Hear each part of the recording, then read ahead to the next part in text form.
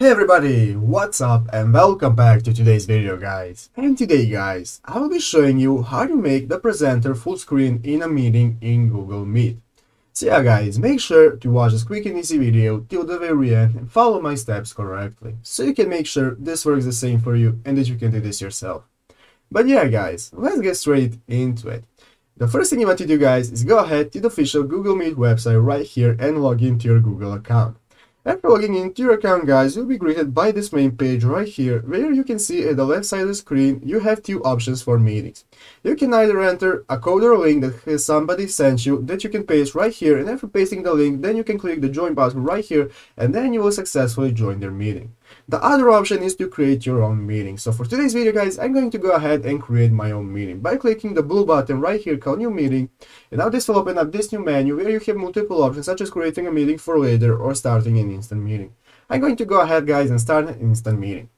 So guys, after starting this meeting, you can see now this opens up this new tab where my meeting is. This is our meeting. Here you can see my screen where I am presenting.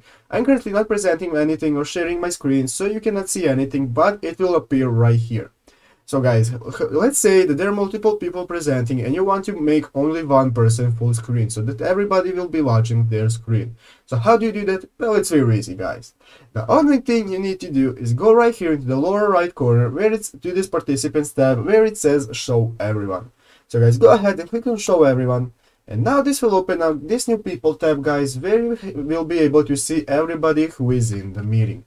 So guys, what you want to do is go ahead and find the person that is presenting and then you want to find these three dots right here next to their name. As you can see here guys, I'm currently alone in the meeting so I'm going to be showing on myself but this will work for anybody you want.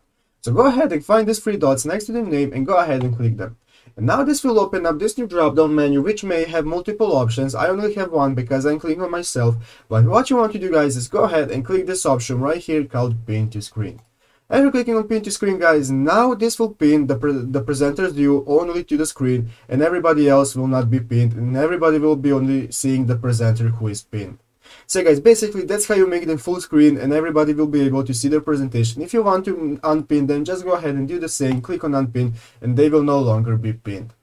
So yeah guys, basically that's how you do it. I hope this video was helpful. If it was, make sure to leave a like and subscribe to the channel. So guys, thank you for watching, take care and bye.